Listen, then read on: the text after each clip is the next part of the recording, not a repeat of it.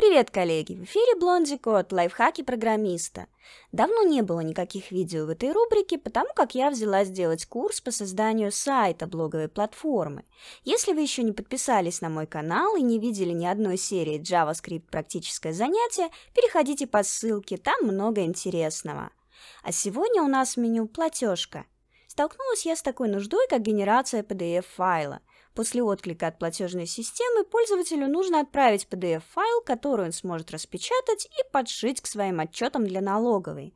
Будем рендерить такую платежку при помощи модулей Node.js. В нашей PDF будут разные текстовые данные, картинка и даже ссылка, куда бы вы думали, на мой канал, конечно. Все эти чудеса может в себя включать PDF-файл, и вы наверняка думаете о том же, что и я, когда захотела сделать эту платежку. Было бы неплохо отрендерить HTML-страничку в PDF-файл. Для начала раскачаем простенький сервак. Мои подписчики наверняка зададут мне вопрос, а где Express, где привычная структура сервера и почему в коде ECMAScript, который я так яростно отрицала на фронтенд? Ну, во-первых, Node.js умеет работать с ECMAScript без всяких там Babel и даже Harmony, а во-вторых, надо иногда отказываться от своих привычек и пробовать что-то новенькое. Так что сегодня мы еще и раскачаем свой роутинг и render template безо всяких там фреймворков. Чего беспокоить дедушку Экспресс по пустякам – все, что понадобится нам в этом проекте, это HTTP, чтобы стартануть сервер, EJS, чтобы отрендерить темплейту, и, собственно, модуль HTML PDF, который сделает для нас заветный PDF-файл. Отправляем сервер слушать порт. Тут у нас, кстати, модная функция стрелка. В теории должна избавить код от утомительного слова function и ускорить его написание. На практике моя IDE делает подстановку уже после первых двух букв fu. Так что скорости набора кода мне это не добавило, но выглядит симпатично, да. Ловим ошибку, а если все окей, отдаем моднявый лог с подстановкой переменной. Создаем сервер и описываем для него обработчик запросов.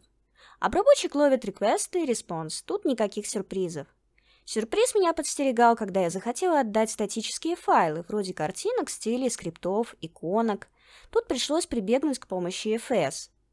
Сделаем простой тест, что запросил пользователь страницу или файл. Если есть точка, значит есть расширение, значит попросим FS прочитать это для нас. Не забудьте сделать из URL физический путь к файлу. Прилепим dirname к ссылке.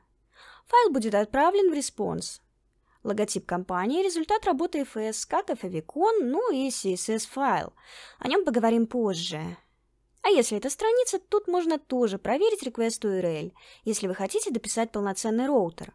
У меня же любая страница будет рендерить платежку. EJS render file конвертирует темплейт в HTML-код. Путь к темплейте тоже склеиваем с dirname, засылаем параметры на темплейту. В боевом режиме это были данные платежа пользователя, которые вернул банк. Давайте посмотрим в темплейту. Она лежит в корне проекта под именем template.js.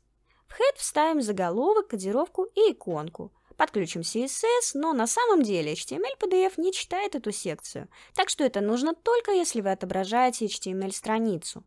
Для генерации PDF нужно все стили описать непосредственно в атрибуте style к каждому тегу. Кстати, если вы делали рассылку по email, темплейты для рассылки описывались аналогично. Подставляем параметры к темплейту логотип компании, данные о заказе, контакты плательщика и все, что вам нужно. Я сверстала платежку при помощи обычной таблички из 10 колонок. Самый надежный способ рендера темплейта для слепого модуля вроде HTML PDF. За счет атрибута callSpan выравниваем макет. Параметры особого внимания не заслуживают, кроме парочки. Первый это дата платежа date, потому как будет отформатировано на мой вкус. Если номер месяца из одной цифры, например, девятый месяц, хочу увидеть 0,9, аналогично для дня месяца. Слепим все через точку и добавим full year. Получится дата в формате 01.09.2017. Всех с прошедшим днем знаний, товарищи! После того, как JS обработает темплейту, к нам вернется результат. HTML. Его и будем скармливать генератору PDF. Для начала соберем опции. HTML PDF принимает на вход формат, в данном случае А4. Кроме того, можно передать вид и Haze. Я, как обычно, оставлю под видео ссылку на официальную страницу модуля, так что не проходите мимо.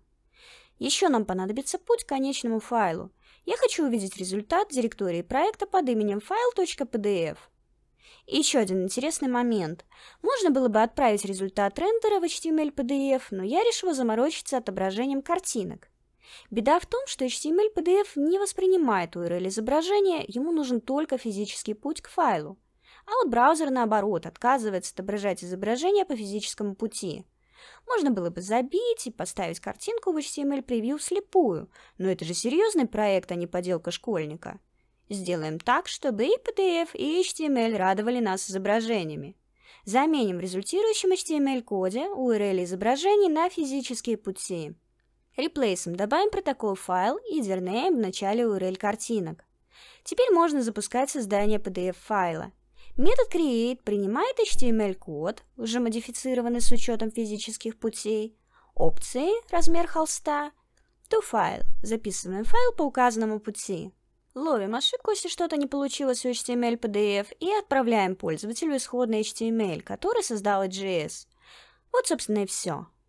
Имеем в итоге и HTML превью платежки, и PDF-файл, сохраненный на жестком диске. Еще один момент, к которому я обещала вернуться, CSS-файл.